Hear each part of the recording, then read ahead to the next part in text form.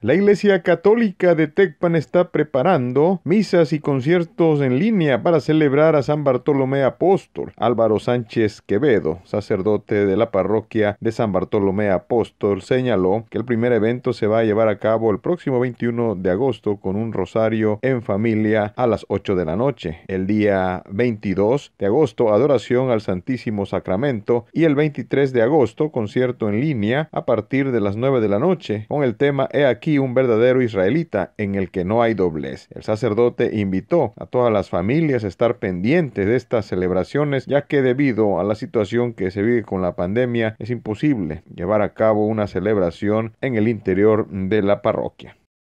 Sí, queremos hacer como un triduo de preparación para la celebración del 24 de agosto. Vamos a comenzar el día sábado, eh, todo es en línea a las 8 de la noche que va a rezar el rosario en familia y de ahí va a haber un pequeñito tema que nos disponga espiritualmente.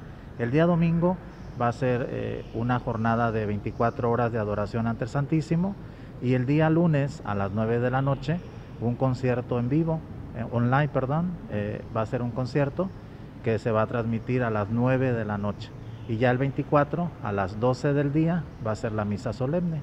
Bien, eh, padre, obviamente eh, es importante destacar que hoy las condiciones pues, no permiten una, una, celebración como se acostumbra aquí en Tecla. Sí, exactamente. De hecho, la misa del día 24 solamente va a ser con algunos representantes de los grupos, de las asociaciones y pues el cupo desafortunadamente va a ser limitado. No, no va a haber, este, porque se había primero tocado el tema de, de las danzas, de las representaciones, pero esto ya se ha cancelado se ha cancelado, de hecho sabemos que estamos en semáforo rojo, que debemos ser muy precavidos, hay que ser muy prudentes y se ha cancelado todo esto. ¿Qué llamado usted le haría a la, a la gente, padre, eh, en el entendido de la situación en la que estamos y que todavía debemos seguir guardándonos, evitar pues aglomeraciones, pero ante todo seguir las medidas sanitarias?